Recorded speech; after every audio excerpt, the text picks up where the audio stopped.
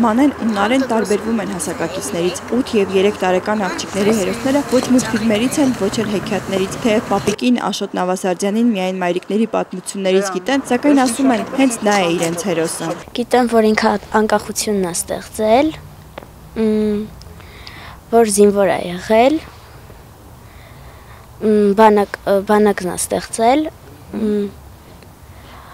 ուժեղ է եղել։ Ես իմացել եմ, որ իմ բաբիկը հերոս էր։ 19 տարի առաջ այս օրը 47 տարեկան հասակում հանկարծամահ եղավ Հայաստանի Հանրապետական Կուսակցության հիմնադիր նախագահ Աշոտ Նավասարդյանը։ Կուսակից ընկերներն ամեն տարի այսօրն այցելում են Եռաբլուր։ Յուրահատուկ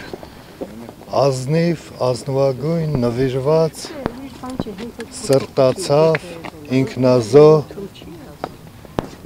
եւ մեծ հոգուտեր մարդ էր։ Ֆինանսների նախկին նախարարն ասում է, մենք դեռ երկար ժամանակ ենք ձգտելու ձևավորել այն պետական արժեքները, որոնց մասին երազում էր Աշոտ Նավասարդյանը։ Իսկ նրա երազած ու ստեղծած կուսակցության մասին նա գերադասում է քիչ խոսել։ Այն կուսակցությունը, որ Նավասարդյանն էր ստեղծում, դա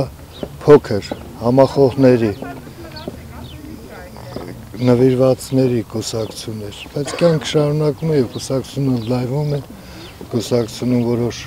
փոփոխություններ են լինում, նոր մոտեցումներ ժամանակի հետ կապված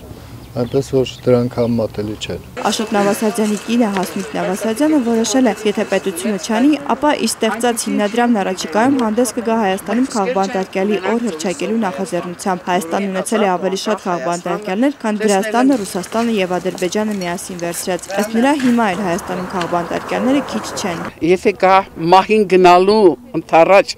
մահ իմացյալ անմահության գաղափար է, ուրեմն նրանք ունեն ընդվզում, ընդվզում, իսկ պետությունը եւ կառավարությունը այդ ընդվզումը պետք է կարողանա աստիճանաբար վերացնել։ Ես գտնում եմ, որ պետությունը եւ կառավարությունը այսօր անելիքներ ունեն։ Աշոտ Նավասարդյանը եղել է ազգային միացյալ կուսակցության անդամ։ Հետագայում հետևել է Գարեգին Նժդեհի ցեղակրոն գաղափարախոսությանը, հանդես եկել խորհրդային ամբողջատիրական համակարգի քննադատությամբ, հայ ժողովրդի ապագան կապել ազատ, անկախ եւ միացյալ Հայաստանի հետ։ Իր գաղափարների տարածման համար 3 անգամ կալանավորվել է եւ դատապարտվել գումարային 17 տարվա ազատազրկման ու 5 տարվա աքսորի։ 1990 թվականի օգոստոսին Հայաստանի Գերագույն դատարանի որոշմամբ արդարացվել է հանցակազմի բացակայության հիմքով։